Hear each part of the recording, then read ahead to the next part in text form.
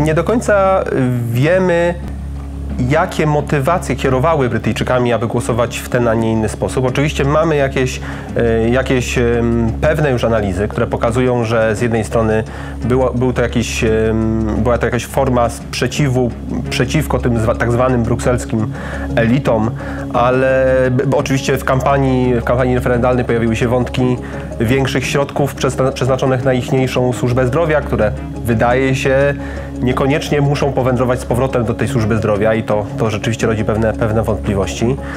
Y, Dla samych Brytyjczyków y, Brexit to bez wątpienia oczywiście wydarzenie epokowe, zdecydowano nawet o wybiciu specjalnych monet.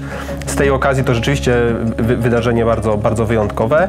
Natomiast y, wszystko tak naprawdę zależy od tego, co zdarzy się przez kolejne kilka miesięcy, a mianowicie w, w tym czasie negocjacyjnym. Kiedy to y, rząd brytyjski ma do- doprowadzić do umowy, y, umowy z, z, z Unią Europejską. Oczywiście chodzi tutaj o zasady, zasady przede wszystkim stosunków gospodarczych. No i ten, ten element będzie tutaj dla Brytyjczyków bez wątpienia kluczowy, no bo na gospodarce to państwo żyje. Tak w oparciu, w oparciu o nie trwa.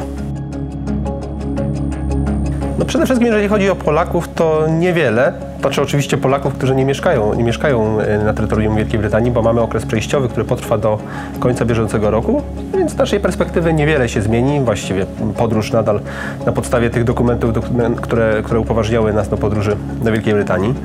Natomiast e, pewnie jakieś zmiany będą związane z e, Polakami, którzy mieszkają na terytorium, na terytorium Wielkiej Brytanii. No i to jest ciekawa sprawa, bo rząd brytyjski umożliwił im wystąpienie o taki specjalny status e, osoby osiedlonej, tak byśmy ją nazwali.